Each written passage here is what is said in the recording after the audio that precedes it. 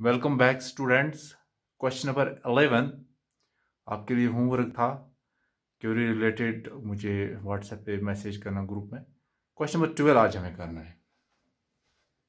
Exercise seven point two question number twelve x cube minus one whole raise power one और three into x five देखो substitution method इसको solve करना है। ये equation देख लीजिए आप। ये एक्स क्यूब माइनस वन हम करेंगे let z is equal to x cube minus one तो देखो differentiation d z over d x ये आ गया हमारा थ्री एक्स स्क्र ये d x d z over three x square ये हमारा आ गया डी एक्स एक ये वैल्यू ये डी एक्स का दीजिए इसमें, और दूसरा, ये जेड का वैल्यू इधर दीजिए. तो देखो Putting these values into this equation, we get x cube minus 1 whole raised power 1 over 3 x raised power 5 dx is equal to ये जो x क्यूब माइनस वन है x क्यूब माइनस वन ये z के बराबर है z one over three और ये x cube है क्या है यहाँ पर ये है x क्यूब और x स्क्वायर तभी ये एक्स रेज पर फाइव हो गया। Three plus two is five t x की जगह क्या लिखेंगे हम? D z divide by three x square ये एक्स स्क्र और ये एक्स स्क्र जाएगा। अब ये एक्स क्यूब रह गया। देखो, यहाँ पर क्या आता है हमारा? Integration of z raise power one over three ये एक्स क्यूब है। इधर देखो आप, अगर यहाँ पर हम डिराइव करेंगे इस इक्वेशन में एक्स क्यूब हमें किसके बराबर मिलता है? Z plus one z plus one अब ये भी इसमें दे दो। एक्स क्यूब की जगह आप जेड प्लस वन दे दो। जेड प्लस वन इस तरह से। और बाकी ये क्या हमारे पास बचता है? डी जेड और नीचे क्या बचता है? थ्री इस तरह। तो ये आ गया हमारा one one three z raise power one by three और ये है one z raise power one by three plus one इसकी इंटीग्रेशन ढूंढनी है।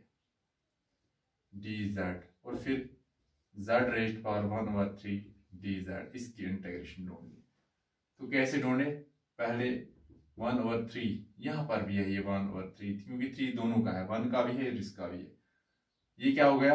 वन प्लस थ्री हो गया four by three integration of z raised power 4 by 3 dz plus 1 by 3 z raised power 1 by 3 dz अब formula use कीजिए 1 by 3 ये क्या है z raised power 4 by 3 plus 1 divided by 4 by 3 plus 1 because we know that integration of uh, z raised power n is equal to z raised power in uh, z raised power n plus 1 divided by n plus 1 same n is 1 here 4 by 3 हाँ plus 1 over 3 z raised power 1 by 3 plus 1 divided by 1 by 3 plus 1 plus c is constant of integration अब ये देखो 1 by 3 इसको इधर से इधर से भी निकालते हैं सेम तो ये ऐसे बनेगी term z raised power 4 plus 3 हो गया 4 plus 3 7 by 3 z raised power 7 by 3 और नीचे भी आएगा 7 by 3 प्लस ये आ गया 1 प्लस 3 4 by 3 z raised power four by three. और नीचे भी आएगा four by three.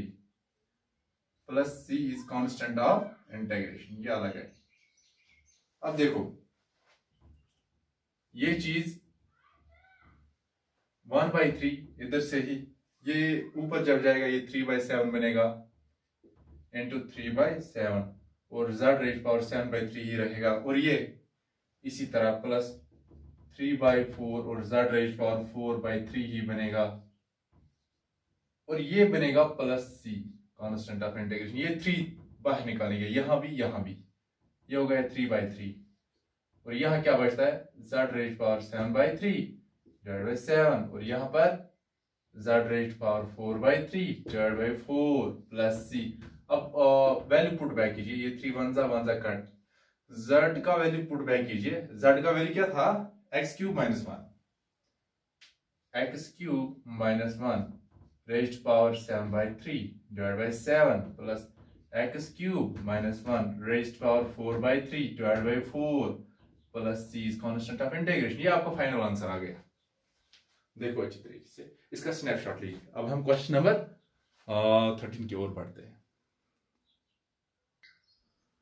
अब देखो क्वेश्चन नंबर थर्टीन ये, इसमें क्या करना है? ये आपको खुद कर लेना चाहिए। इसमें हम करेंगे put z is equal to plus three x cube. ये पुट करके आपको z का वैल्यू इधर और डी जेड जो निकलेगा, इसमें पुट बैक करना है। ये बहुत ही आसान क्वेश्चन है। क्वेश्चन नंबर फोर्टीन होमवर्क है आपके लिए H W question number fourteen one by x of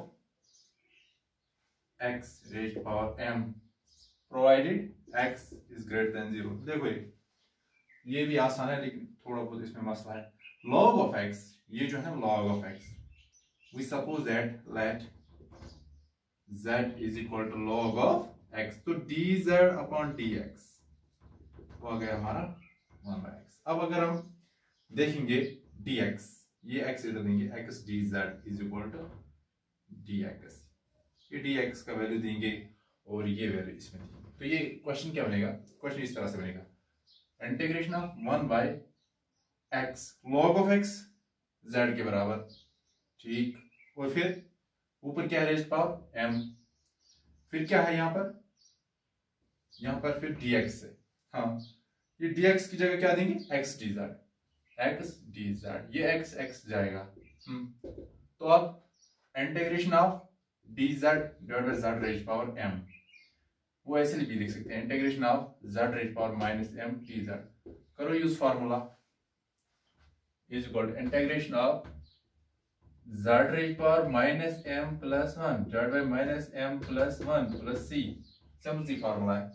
अच्छा ये आ गया z raise power one minus m divide by क्योंकि वन माइनस प्लस ये देखो one minus m one minus m one minus m plus c z का value put back कीजिए z क्या था?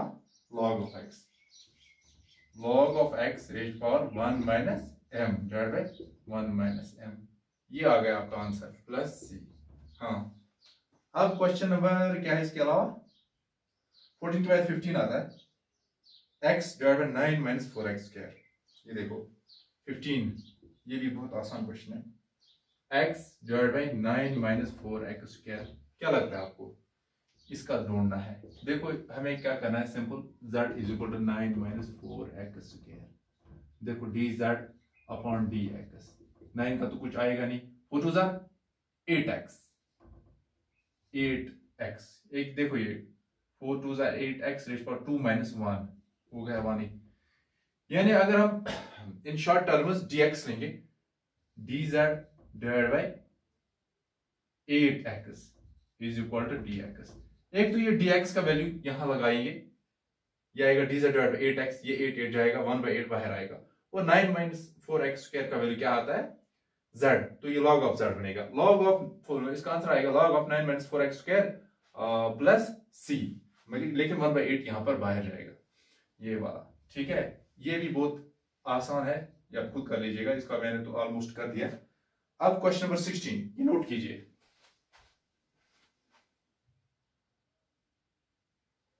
क्वेश्चन नंबर सिक्सटीन है e raise power two x plus three d x देखो, ये बहुत ही आसान क्वेश्चन है।